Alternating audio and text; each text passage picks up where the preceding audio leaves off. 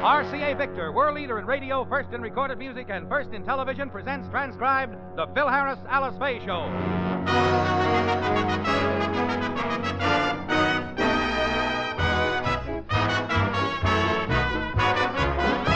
For your enjoyment, here is the Phil Harris Alice Faye Show, written by Ray Singer and Dick Chevillat, with Elliott Lewis, Walter Tetley, Robert North, Jeanine Roos, Anne Whitfield, Walter Scharf in his music, and yours truly, Bill Forman. All of you who have children know that at some time or other they get into mischief. But what the Harris children do to Alice today shouldn't happen to a mother. More about that later. First, a word from RCA Victor. A glance at the calendar will show you that the national elections are less than a month away. So there's no time to waste. It's time to buy your RCA Victor television set. Then you'll be ready to enjoy television's complete coverage of that important night. From the early vote returns to the interviews with our new president. You'll see the clearest pictures on new RCA Victor television thanks to the exclusive Magic Monitor circuit system that acts like an engineer inside your set. The Magic Monitor screens out interference automatically, steps up power automatically, and automatically ties the clearest picture to the best sound. The Magic Monitor is built into every new RCA Victor set, into the brand new Shelley, for example. The Shelley is a handsome 17 inch table model, priced at only $199.95. And it's a real bargain for your budget. And that low price is complete, including federal excise tax and full year warranty on the 17 inch picture tube. So buy the Shelley at your dealers tomorrow. You'll want to see RCA Victor Television Deluxe, too. Be ready to enjoy television's full coverage of the upcoming elections. Remember, every year more people buy RCA Victor than any other television. And when you buy RCA Victor television plus an RCA Victor factory service contract, you get television's greatest combination. And now the stars of the RCA Victor program, Alice Faye and Phil Harris.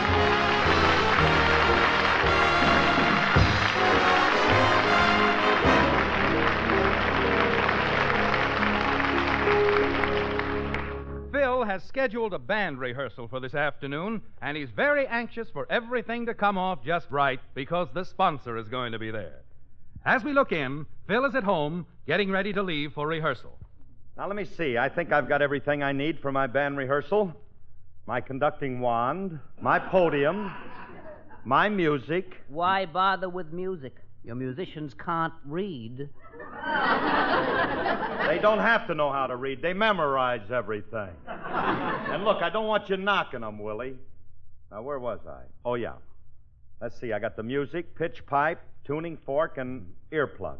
What are the earplugs for? The boys in the band, they can't stand to listen to oh. each other.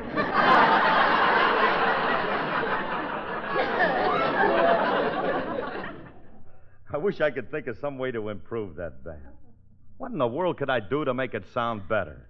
Get a new male vocalist. And whom would you suggest? Me. Alice has been giving me singing lessons, and I, I'm sure I'd be a valuable asset to your program. Ooh, that's peachy.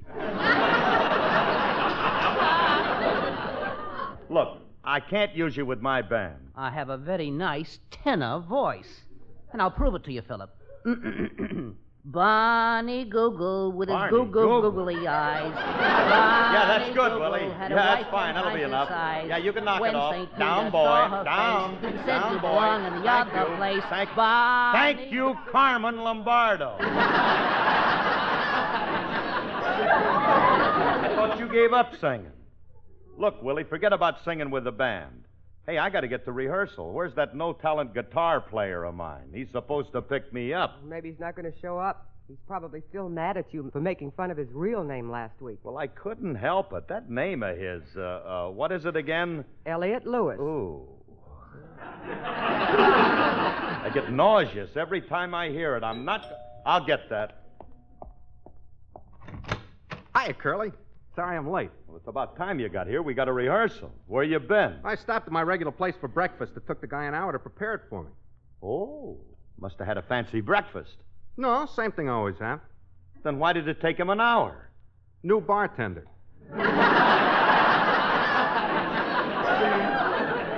What did you have for breakfast? The usual. Hot buttered toast and a whiskey sour.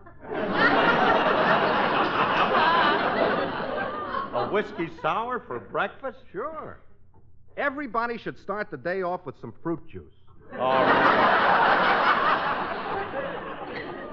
Look, we're late for rehearsal, so let's go, Emery. Emery? Well, that's your new name, ain't it? My new name is Elliott, no cracks. All right, all right, Elliott. Ooh. Come on. Oh, by the way, Alice, any mail come here addressed to me? Why should your mail come here? Well, since I changed my name, I've been giving this as my mailing address. See, my new name doesn't go with my old address. Why not? I think it sounds good. Mr. Elliott Lewis, 28 Skid Row Lane. That's not my address. I live at 69 Vat Boulevard. Well, there ain't been any mail for you. We haven't had any mail ourselves for several days, and now that I come to think of it, the neighbors haven't even had any either. Mm-hmm. But I'll check on that later when I get back from rehearsal. Come on, Esther. Elliott. Esther, Elliott, they're so close. Come on. Bye, honey. Oh, goodbye, darling. Hurry back. Alice, what do you see in that old Indian? Willie, please. He happens to be my husband, and I'm very. Hey, Uncle Willie, here comes the Pony Express. Now, girls, girls, how many times must I tell you not to bring your wagon into the house? I'm not going to tell you again, but what have you got in that wagon anyway? The neighbor's mail. We've been taking letters out of their boxes for the past two days so we can play post office. Yeah, and we're going to mix it up and put everybody's mail in somebody else's box. Oh, no. So that's why nobody in the neighborhood has been receiving any mail. Look, we're going to put that mail right back where it belongs, and we're going to do it right now. Alice, you can't do that.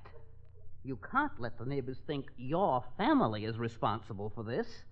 You'll have to sneak it back tonight when nobody can see you. Well, it would be embarrassing trying to explain this. Uh, Willie, put all those letters in the hall closet till tonight. Uh, Phyllis, where's our mail? Oh, we've already delivered that. Delivered it? Where? We put it in mailboxes all over the neighborhood. Oh, that's terrible. We've got to get that back right now. Uh, girls, you get our mail out of the boxes on this block, and I'll take care of the next block. And don't let anybody see you. Well, shall we take this mail and put it back? No, no, we haven't time. Just leave it in the hall closet. I'll return it tonight. All right, Mother. But please don't tell Daddy about this. He'll get mad. All right, all right. I won't tell your father as long as you never, never do a thing like this again. Now, let's go get our mail back. So long, Willie. But, but, but Alice, you promised to give me another singing lesson. I don't have time now, Willie. Play one of my records and listen closely.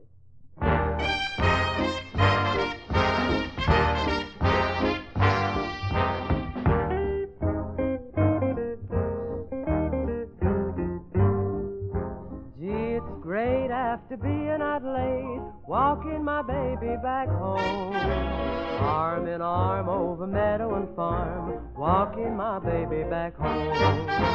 We go along harmonizing a song, or I'm reciting a poem. Owls go by and they give me the eye, walking my baby back home. We stop for a while, she gives me a smile and snuggles her head to my chest. We start in the and that's when he gets my powder all over his vest. After he kind of straightens his tie, I have to borrow his coat.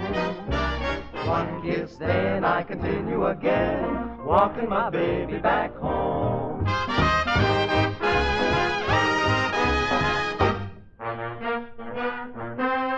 Gee, it's great after being out late, walking my baby back home. Walking my baby back home. We go along harmonizing a song, or I'm reciting a poem. Owls go by and they give me the eye, walking my baby back home.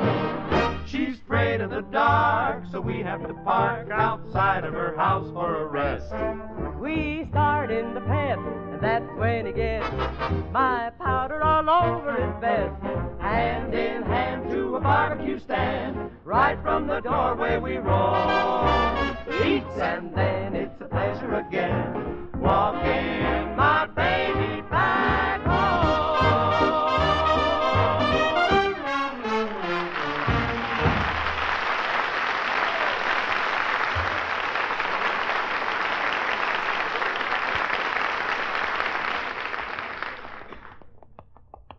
Curly, the sponsor didn't seem too happy with the rehearsal today.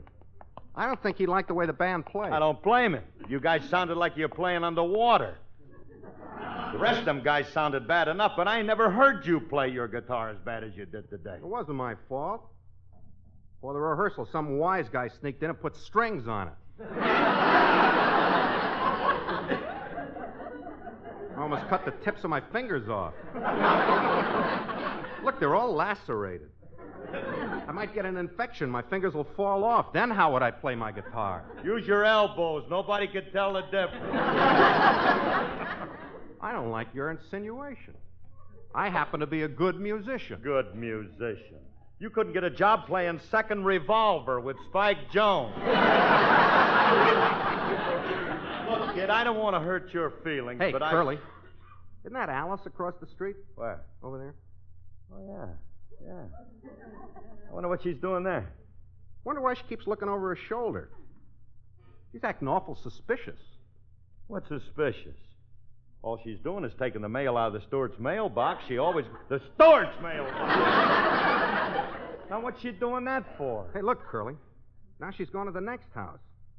She's taking a fistful out of their box, too. Yeah. What's the matter with her? Taking other people's mail. Hey, look at her now. She's emptying another box. I can't understand it.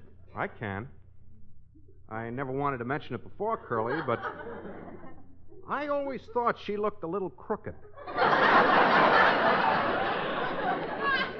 are you talking about? Did you ever notice her eyes? She has a squinting, shifty look. True. I thought it was due to the smog. Oh, this is ridiculous. My wife wouldn't go around stealing mail. No, then look at her now. She's got the mail and she's hot footing it home. Yeah. Look at her scale that fence. Wow. Now look at her scat through your garden. Look at swivel hips going through that form. She steps on my cocktail onions, I'll kill her. Come on, let's hurry. Let's get to the house and find out what this is all about. Come on. Uh, oh, Alice, Alice, where are you? Oh, uh, I'm in here, Phil. Uh, I'll, I'll be right out. Listen to her puff. She's getting a little old for them high fences. Oh, Phil, I, I didn't expect you home so early. Oh, no? What you been doing, dear? Oh, nothing. I, I've been in the kitchen preparing salmon. What'd you have to do? Swim upstream?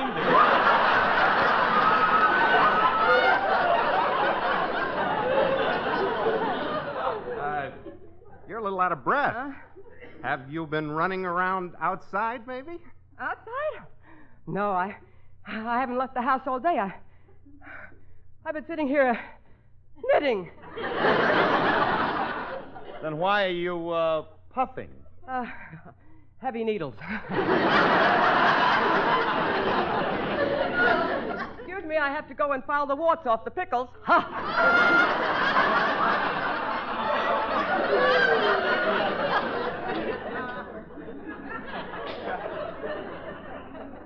She's not only a crook, but she tells lousy jokes.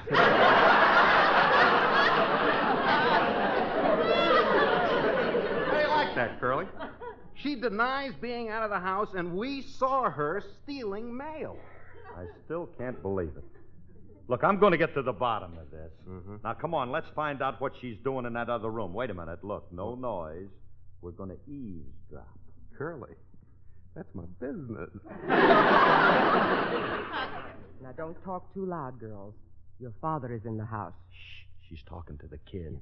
Well, girls, how did you make out? Fine, I got the mail out of the Ackman's box, and here's the mail from the Bennett's box. There was a cop on the corner, but he didn't see me. I'm too clever. How do you like that? She's got my kids working. I'm living in a nest of thieves. Imagine teaching little kids to steal for her. Are you sure her name isn't Alice Fagin? How about the rest of the mail, Mom? Oh, I'll take care of that tonight, after it gets dark. Oh, can we go with you? Oh, no, no. You girls have to go to bed. I'll do this alone. Well, At least she's not taking the kids out on her night jobs. Probably don't want to split the swag with her. I've got a good mind to tell my kids that she's double crossing them. I can't stand any more of this. Come on, uh, Elliott. What are you going to do, Curly? I don't know. I gotta have time to think this over. Come on, let's take a walk. Wait a minute till I get my head out of the closet. Alice never did a dishonest thing in her life. There must be some. some. Oh, no! What's the matter, Curly? The whole closet's full of mail. She must have been doing this for years. oh, what a sweet racket. So that's where she got all her money. to think I've been living off of stolen relief checks, old age pensions, and women's insurance money. Yeah. Gee whiz, that settles it. I'm going to tell Alice that I know what she's doing, and I insist that she stop. What, and kill a good thing? How could Alice have denied doing this thing? Well, maybe she steals without knowing it. You mean she's one of them crepdeloxomaniacs? but I gotta do something about this, but I don't know why. Now, Curly, don't trouble yourself. Let me figure this out for you. You just relax and take it easy. Why don't you sing? Sing? What's the matter with you? I find out my wife and kids are crooks, and you stand there and ask me to sing. Yeah. Well, I don't feel like it. But at my age, I can't afford to turn down a request.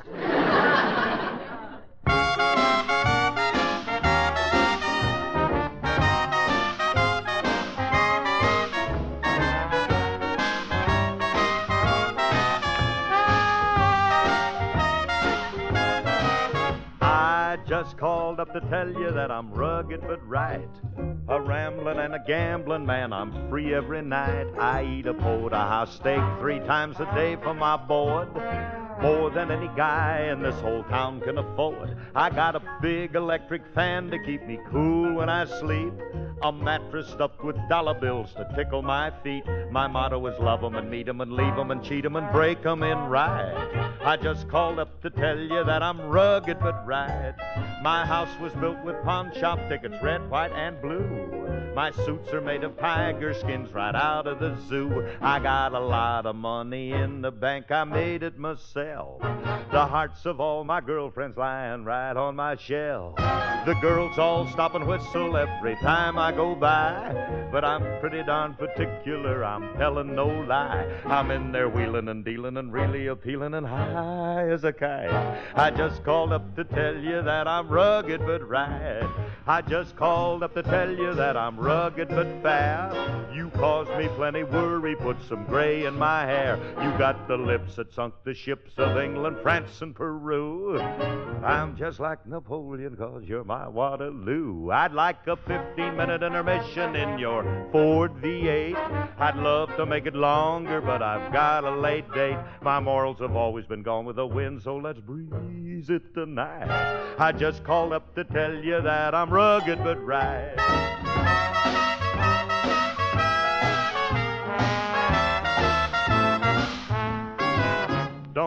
Overdo it, cause I really overdoed it last night.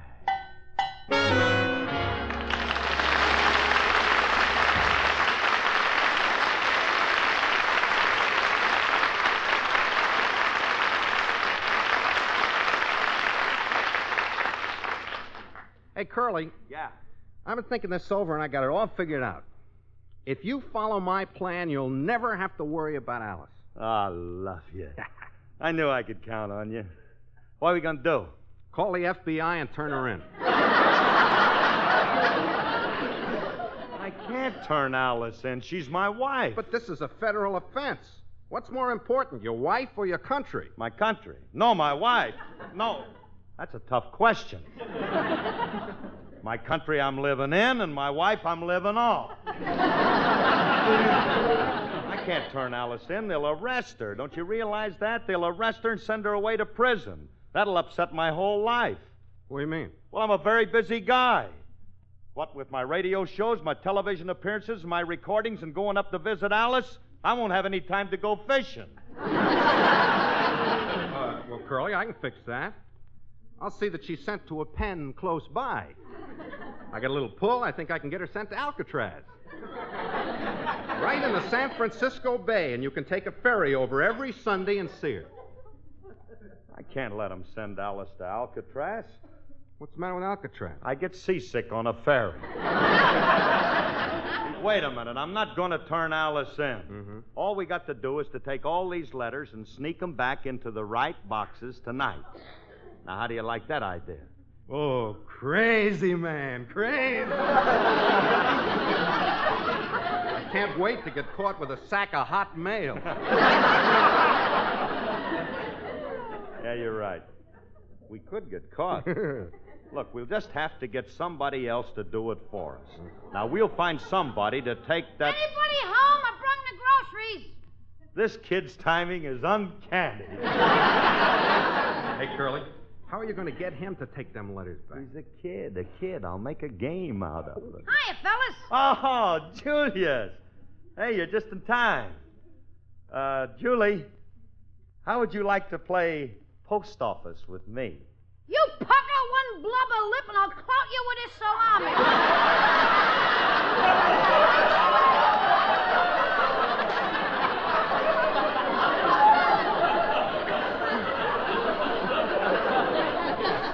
We're not talking about that kind of post office.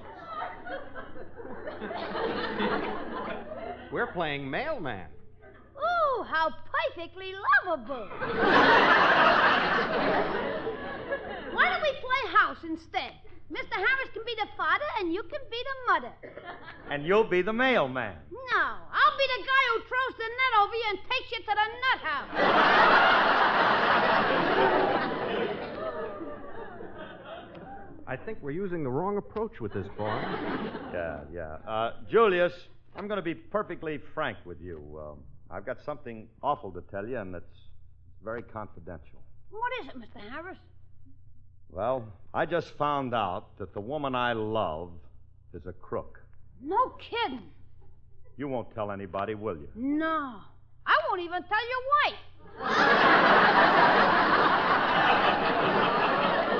Don't be funny. I'm talking about my wife. She's a crook, a thief, and she's been stealing mail. You're accusing Miss Faye of being a thief. Ooh, I won't stand here and listen to this. I'm going to take my delivery basket and get out of here. But, Julius, you can help me. Don't leave Curly, now. Curly, You... Curly, let him go. But we want him to take the mail with him. He's taking it.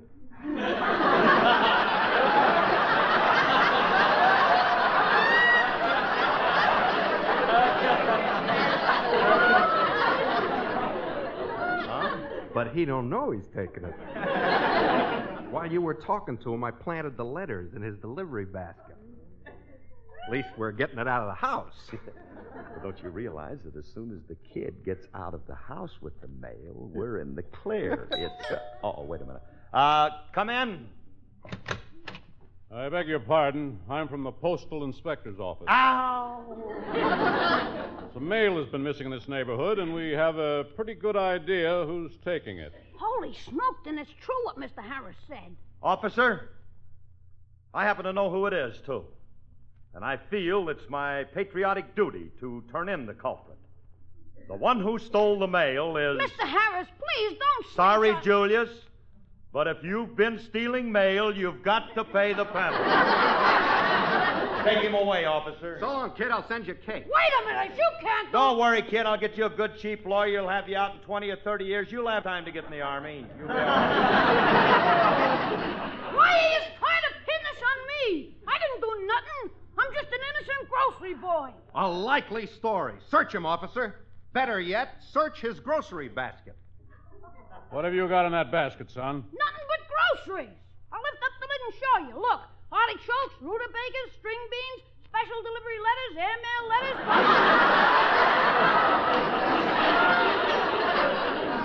Wait a minute! How did this stuff get in my basket?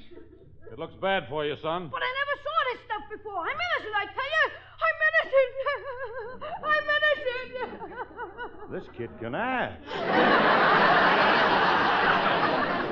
Great. I think he's overplaying it a little. Phil, Phil, what's all the racket in Don't here? get excited, lady. I'm from the Postal Inspector's Office. See you around.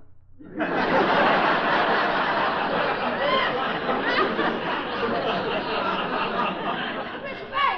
Miss May, come back here. This man is arresting me for stealing mail. Arresting you? Oh, officer, I can't let you arrest this boy. He's innocent. I know he didn't steal that mail. I have a confession to make. Thank goodness there's a spark of decency left in her. Lady, you seem to know something about this. Did you steal this mail? Well, of course not. My two little girls stole it. How do you like that? She's railroading her own babies on a bum rap. My kids didn't do it. All right, make up your mind. They don't care who did it, but I'm arresting somebody. Then arrest the right person. Who is the right person? She is. I am not. Of course she isn't. I think it was Mr. Harris. Don't be ridiculous. What's the matter with you? Do I look like the kind of a guy who would steal? Just look at my face. Look at me. You can see I'm honest and wouldn't. Who slipped these handcuffs on me?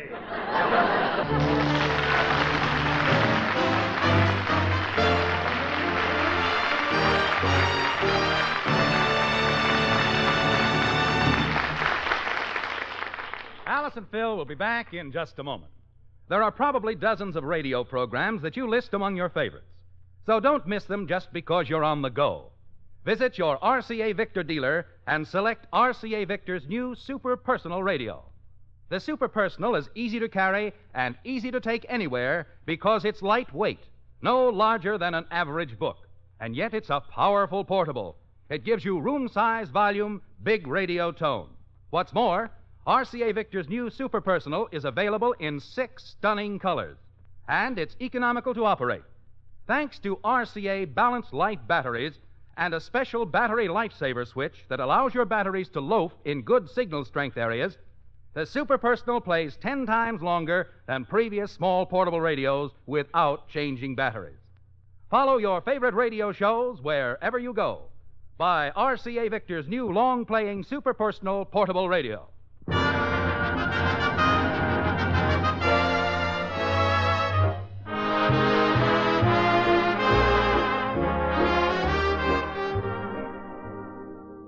Friday nights, it's daytime on television. So see Dennis Day get into one merry mix up after another on the new RCA Victor show every Friday, NBC TV. And now, an important reminder. October is the month when local communities will be starting their community chest campaigns.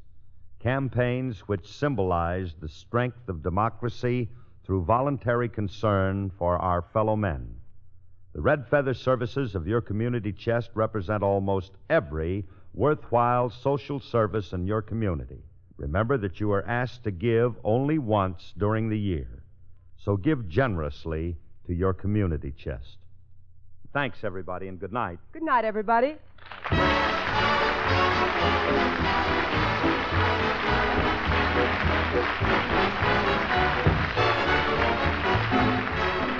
Included in today's program, transcribed, was Will Wright. The part of Julius was played by Walter Tetley. Now you save almost $1 with RCA Victor's new extended play 45 pop albums. 45 extended play gives you twice as much music for less money. Eight top pops for only $2.80. Four for only $1.40 before tax. All by RCA Victor stars who make the hits. Visit your record dealer tomorrow. See and hear his big selection of extended play 45s by RCA Victor.